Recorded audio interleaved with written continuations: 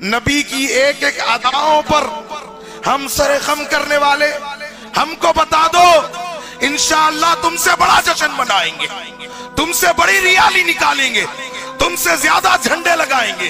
तुम हमें बता दो, एक दलील दिखा दो। तिरसठ साल ज़िंदगी नबी करीम सल्लल्लाहु अलैहि वसल्लम। तिरसठ मरतबा रबीउल अव्वल का महीना आया। अल्लाह की कसम, तुम एक मरतबा दिखा दो, हम तुमसे बड़ा जश्न मनाकर दिखाए नहीं दिखा सकते कयामत की सुबह तक। अभी रबी अव्वल का महीना गुजर रहा है ना, कहते हैं कि मीलाद उन नबी मनाएँगे। ईद मिलाद जश्न मिलाद, रियालियाँ निकालेंगे, रास्ते जाम करेंगे, मौसीकी बजाएँगे, भांगड़े डालेंगे, बच्चियों को रोडों पर बेपर्दा नचवाएँगे, गाएँगे, झूमेंगे। अल्लाह की पनाह, ये दीन इस्लाम है। सहाबा के तरीके को छोड़ोगे?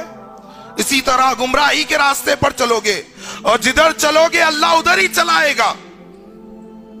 और हमने कहा कि भाई, जब ईद मिलाद मनाते हो तो फिर हमें दलील बता दो। हम भी तो नबी से मोहब्बत करने वाले हैं। नबी की एक एक अदाओं पर हम सरे खम करने वाले। हमको बता दो, इंशाअल्लाह तुमसे बड़ा जश्न मनाएँगे। तुमसे बड़ी रियाली निकालेंगे। तुमसे ज़्यादा झंडे लगाएँगे। तुम हमें बता दो। एक दलील दिखा दो। तिरसठ साल ज़िंदगी नबी करीम सल्लल्लाहु अलैहि वसल्लम की।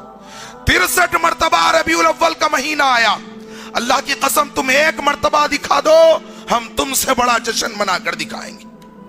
नहीं दिखा सकते कयामत की सुबह तक। कहने लगे, दलील मिली। हमने कहा, किससे? कुरान से। कहा, नहीं। कहा, हदीस से कहा, नहीं।